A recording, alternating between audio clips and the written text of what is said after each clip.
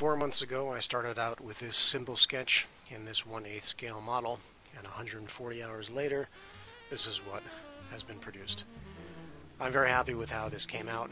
It was a very long uh, build because I did everything with hand tools which includes uh, roughing and dimensioning the 8 foot long rough bores that I bought from the lumberyard. Uh, everything was done with hand planes. All joints were cut by hand. Half-blind dovetails, full dovetails, um, mortise and tenon joints, uh, pretty much everything that you'd find in traditional furniture.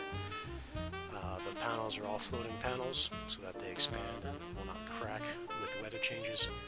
There's plenty of storage space, uh, which I left empty so that uh, my wife can use it as she pleases.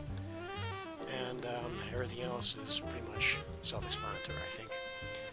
included this little tour uh, for all the people that have continued to watch this series. I appreciate your support and your patronage.